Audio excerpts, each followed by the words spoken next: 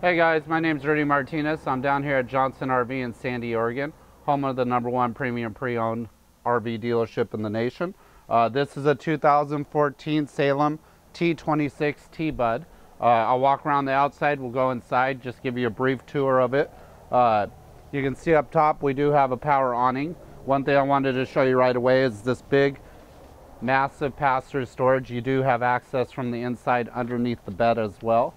Uh, this is just held up by a little clip here and that just goes right down and you're going to have access on the other side as well.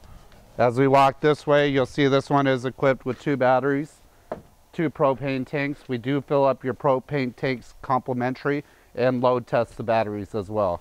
Uh, power tongue jack right here. Docking lights are all right there. Uh, here's the other access point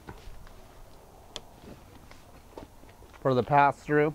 And then this does have electric stabilizing jacks as well. Uh, you can see right here, they are right there. So it's not, it's not leveling jacks where it's gonna pick you up. What it's gonna do is lower down and balance you out. Uh, slide toppers up top. Uh, this is a nice big slide on the driver's side of the coach. As we walk over here, you'll see your dump station's gonna be down there. Always do your black first, gray after, kind of flush out that little area. We do give you uh, complimentary sewer hoses and water hoses as well uh, that come with the, the coach. And for the rear electric stabilizing, you can see this is right here as well. We test all those systems, make sure that everything's working great.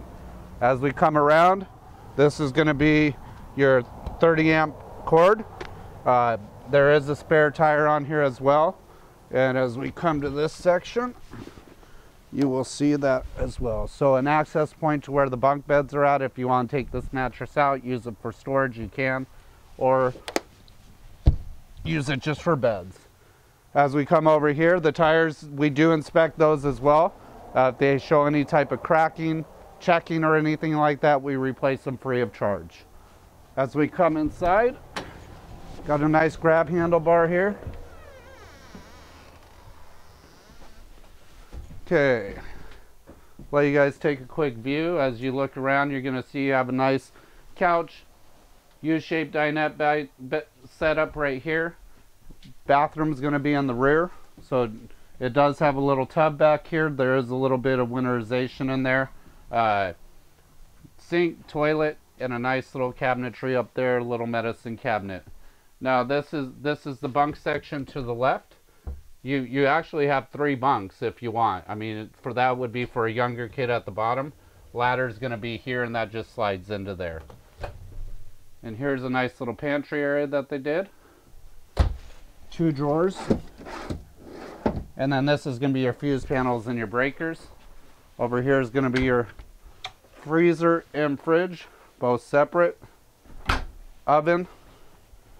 Three burner cooktop microwave and this is a standard microwave.